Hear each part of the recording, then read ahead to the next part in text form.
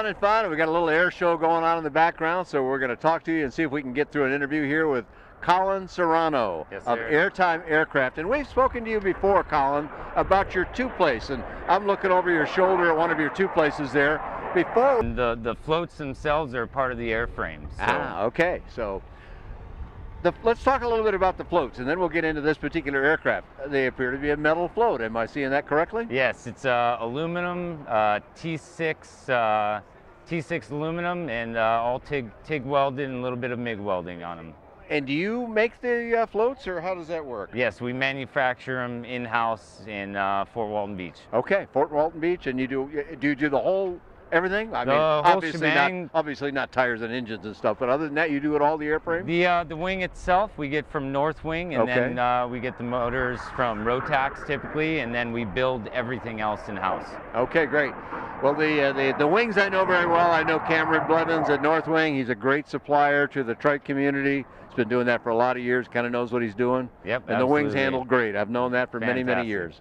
So that's great. And and this particular one, I see you've got a Hirth on because this one's a single place. Yep. Tell me more about this particular one, which is kind of our focus today, Colin. This one's uh, this one's a newer bird. They've been made in the past, but um, we've been um, doing a lot of re- re-engineering on them to make it uh, the, the aircraft that uh, we like. It's uh, it's a True 103, another amphibious aircraft.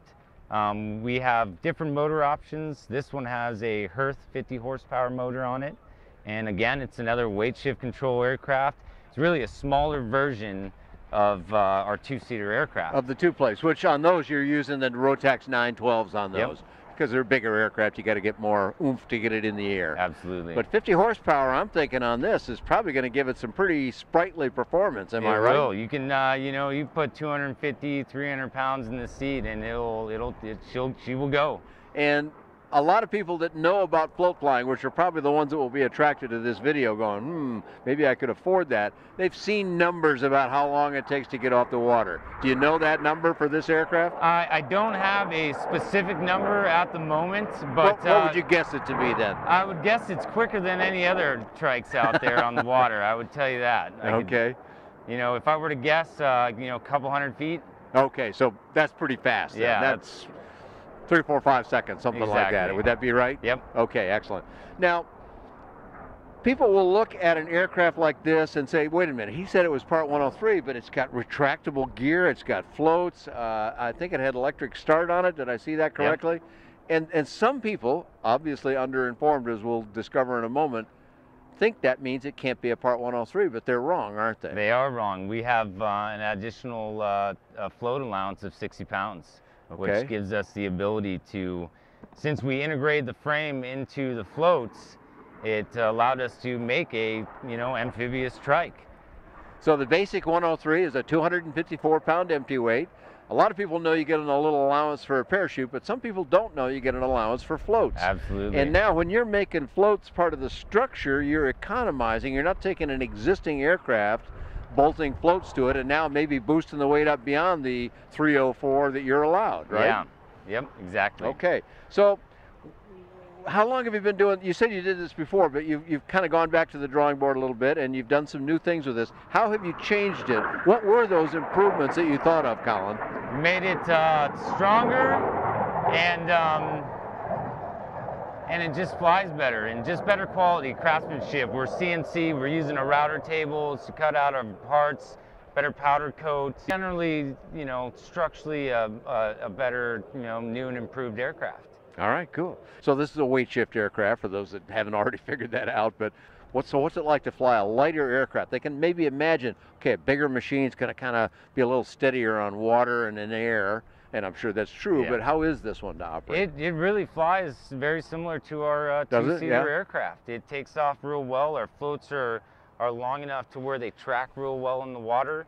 Um, they get up on plane real easy with the step that we have. And, um, and as far as saltwater goes, the, the plane is made out of uh, aluminum, stainless steel, and titanium landing gear. So None of which is much- particularly affected by salt water, right? exactly as much non-corrosive material part, you know, as we can, you know, possibly use on it. Now, I want to ask you about the float a little bit. I've had a bit of experience with float flying, and to my eyes and to some other people's eyes, the point of step, that is where the bottom of the float has that little upward notch in it, which is an important thing to getting off the water. You got to separate from water, which sort of sticks to the bottom of a float if you don't have some accommodation for it. But the, the step looks sort of far forward to some people who have only seen them on regular aircraft. How do you answer that question?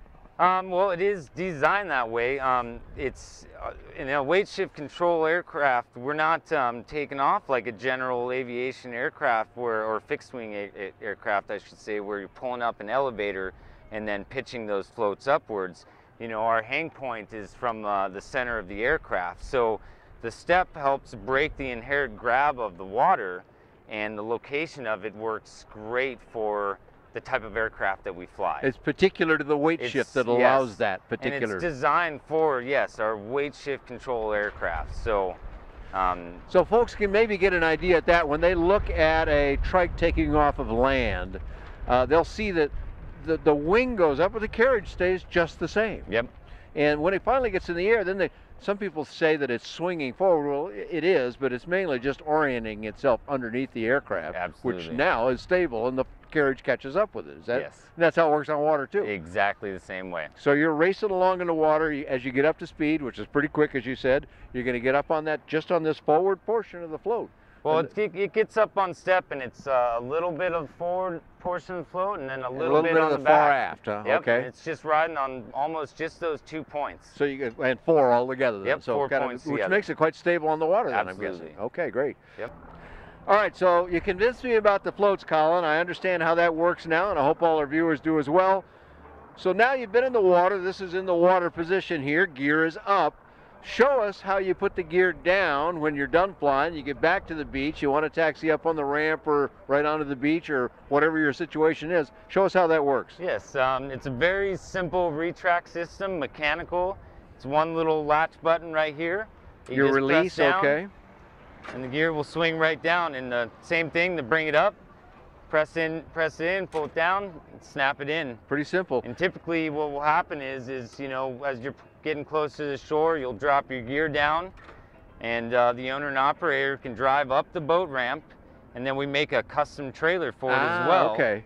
And you can, um, you know, drive it basically right up onto the trailer and fold your wing up and go go back to your house and uh, finish your day. Beautiful.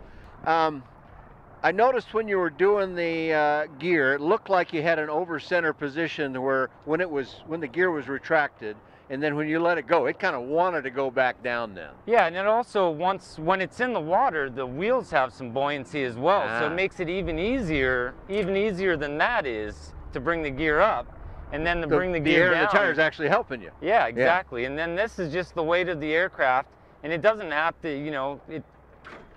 It's just very simple. It and is there? I, I hear back. kind of a clocking. Is it? Does it go into a locked position Yes, then? it locks the gear here in and the that rear. happens in the back Yep. then. Okay.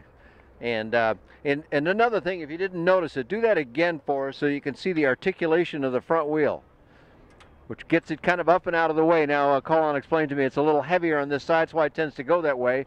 But right where my finger is pointing, there is a stop too that keeps it from spinning all the way around on you or something and doing what you don't want it to do. Absolutely. Then on the way, when you put it back down again, go ahead and do that. It straightens itself out again. Yep. So very clever design there. You don't really have to worry about that too much. No, not at all. And the only reason why that kicks over there is because it has a disc brake on the right hand side of the wheel and it's slightly weighted over there. But as you retract gear two, it disengages the front steering and you still have your rudder control, which Ah, is okay. underneath the aircraft there that's steered on, on water. Yeah, now I suppose the camera can see back here, but there's also a water rudder back here, which you can see operating right now. Go ahead and put the gear down again.